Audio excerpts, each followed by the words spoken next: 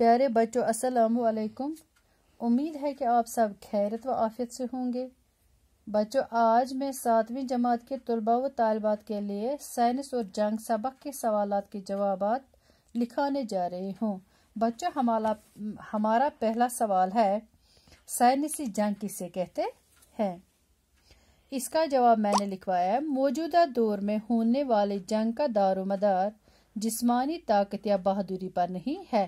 बल्कि जदीद तरीन असला और जंगी साज व सामान पर है, जो कि साइनस की देन है। इसीलिए इस दौर में होने वाले जंग को फौजी जंग के बजाय साइंसी जंग कहना दुरुस्त है।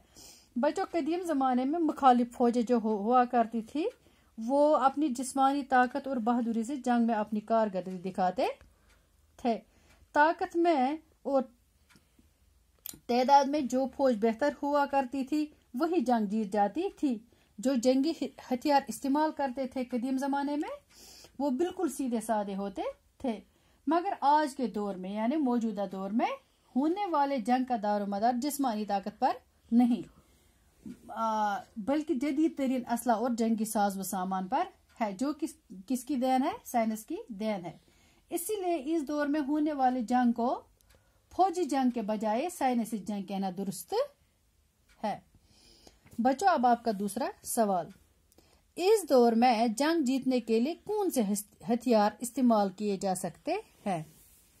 इसका जवाब है, इस दौर में जंग जीतने के लिए नहायत मोहलिक हथियार, जैसे आइटम बम और हाइड्रोजन बम इस्तेमाल किए जा सकते हैं। जैसे जदीद दौर में आज के दौर में अगर जंग, आपस में दो मुल्कों में जंग हो जाएगा तो वो क्या हथियार इस्तेमाल करेंगे? आइटम बम और हाइड्रोजन बम। बहुत सारे मुल्कों के पास है। अब सवाल नंबर तीन है, आम ममालिक जंग से खौफजदा क्यों है? इसका जवाब है, आम ममालिक जंग से खौफजदा हैं, क्योंकि इनको मालूम है कि अगर अब कोई बड़ी जंग हुई तो इसमें मामूली बमों के बजाय खौफनाक हाइड्रोजन बम इस्तेमाल किए जाएँगे, जिनसे सारा इलाका आनन फानन राह के ढेर में तब्दील हो सकता है और इस जद में वो मुल्क भी आ सकते हैं जो जंग में शामिल न भी हो। आम ममालिक जान से इसलिए खौफ ज़्यादा है कि इनको पता है आज के दौर में अगर कोई जंग लड़ी जाए आपस में तो आज कौन सा बम? हाइड्रोजन बम इस्तेमाल करे, जिससे सारा इलाका आनन फानन राख में तब्दील हो सकता है। और अगर इस जंग में वो मुल्क भी आ सकते जो शाम, जंग में शामिल न हो। अब चौथा सवाल है, आइटमी हथियारों का सबसे बड़ा खतरा क्या है? बच्चे, आइटमी हथियारों का सबसे बड़ा खतरा क्या है? इसका जवाब है, आइटमी हथियारों का सबसे बड़ा खतरा ये है कि जदीद आइटम और हाइड्रोजन बम कहीं ममालिक के पास है, कि कहीं कहीं ममालिक के पास हाइड्रोजन बम और आइटम बम है। अगर इनका इस्तेमाल किया गया, किन का? आइटम बम और हाइड्रोजन बम का। तो पूरी दुनिया आग के शोलों की नज़र हो जाएगी और कुछ भी और कुछ भी बच न पाएगा। सवाल नंबर पाँच।